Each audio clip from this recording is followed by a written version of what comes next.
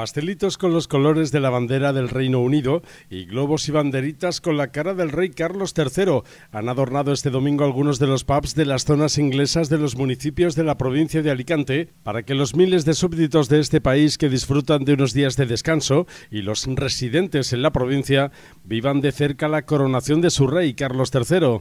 Benidorm, Orihuela Costa, Rojales, Torrevieja o Alfaz del Pi han celebrado la coronación de Carlos III por todo lo alto, con una jornada dominical muy particular para que los residentes británicos en estos municipios se sientan como en casa. En España hay más de 280.000 residentes originarios británicos y una cuarta parte están en la provincia de Alicante. Aquí viven entre nosotros más de 70.000 personas que nacieron en el Reino Unido y que ya comparten su vida cotidiana entre nosotros. Por eso también han celebrado este fin de semana la coronación de Carlos III en los bares británicos. This is important to us.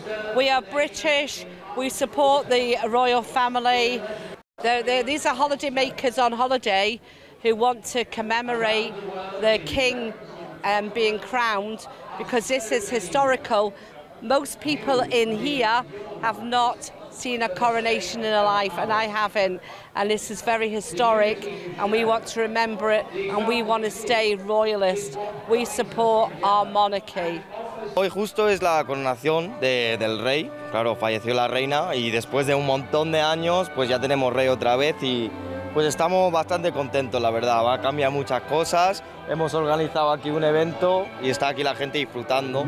Tenemos eh, un montón de cava, un montón de tartas, aquí para la gente va a disfrutar y pues se ve, lo están pasando bien. Lo de las tartas pues hemos hecho a los colores, los colores de Inglaterra, los mismos colores estos y las botellas de cava, pero sí hemos organizado aquí un... Tampoco es un evento, evento, porque sé que hay muchos bares también haciendo lo mismo, pero aquí como los escoceses le encanta la reina, pues es lo que hay, es lo que hemos, lo que hacemos aquí.